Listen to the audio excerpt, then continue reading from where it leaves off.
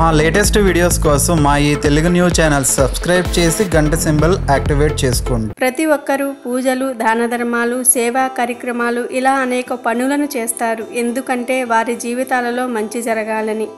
ముందు మనం అభివృద్ధి చెందినప్పుడే కదా పది మందికి సహాయం చేయగలుగుతాము. మన స్థితిని మార్చుకొని ఉన్నత స్థాయిలకు చేరాలంటే కొన్ని పరిహారాలను చేయవలసి ఉంటుంది. ఈ కలియుగంలో కొన్ని వస్తువులను దానం చేస్తే మంచి యోగం కలుగుతుందని పండితులు చెప్తున్నారు. దానం చేత సమస్త యోగం కలుగుతుంది. దానం చేత సంభవించేటటువంటి యోగాలు ఎన్నో ఉన్నాయి. కన్యాదానం చేస్తే కొన్ని యోగాలు కలుగుతాయి. అలాగే అన్నదానం బంగారం భూదానం గోదానంతో కొన్ని పాపాలు నశిస్తాయి. ఇలా ఒక్కొక్క దానానికి ఒక్కొక్క యోగం కలుగుతుంది. తప్పనిసరిగా శుక్రవారం శనివారం మరియు సోమవారం రోజు ఈ దానాలు చేయటం వలన సమస్త దరిద్రాలు ఈ కలియుగంలో తొలగిపోతాయి. మనిషి యొక్క దరిద్రాన్ని పాపాలను ఆయుష్ను ఆరోగ్యాన్ని సుఖ సంతోషాల కోసం ఈ కలియుగంలో ఈ ఒక్కటి దానం చేస్తే అద్భుతమైన ఫలితాలను పొందుతాము. అది ఏమిటి అంటే పసుపు రంగు వస్త్రాలను దానం చేయటం.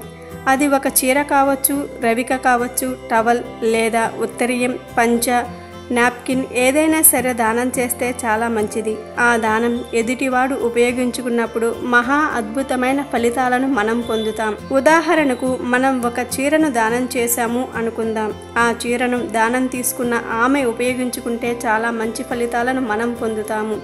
అలా కాకుండా ఆ చీరను ఆమె ఉపయోగించుకోకుండా వేరే వారికి అమ్ముకోవటం లేదా ఇతరులకు ఇచ్చేయటం చేయటం జరగకూడదు. కావున దానం ఎవరికి అవసరమో చూసుకుని దానం చేయాలి. అప్పుడు మాత్రమే మనకు మంచి ఫలితాలు లభిస్తాయి.